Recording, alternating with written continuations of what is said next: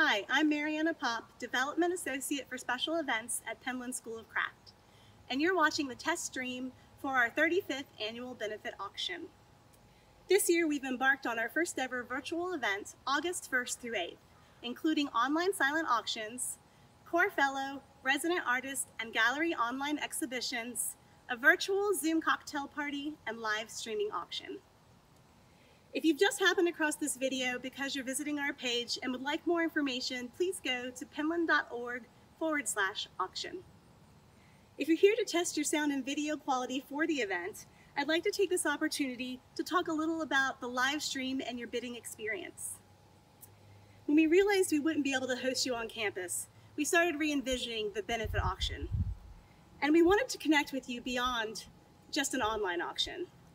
So we gathered our most tech savvy staff and decided we could, and we would, try something new. We've chosen 20 pieces of art to present over a live YouTube stream. But this isn't going to be the normal affair. We've taken a lighthearted approach that will be fun and a bit unconventional, while still showcasing our amazing Penland artists and their work. The bidding will take place on the same bidding page as the silent auctions, so we recommend you test which devices you'd like to bid and watch. Please review the bidding guide on our auction page for helpful information about bidding and streaming. While we are excited to try this new way of bringing Penland to you, there are a few challenges. There will be a lag between what you see in the live stream and what you see on the bidding page.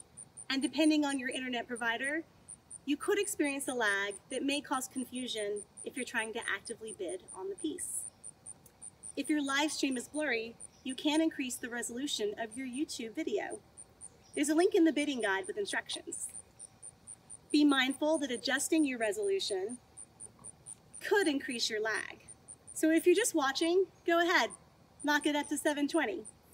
But if you're bidding and you'd like less lag, we found that 320 provides a good video quality while reducing lag.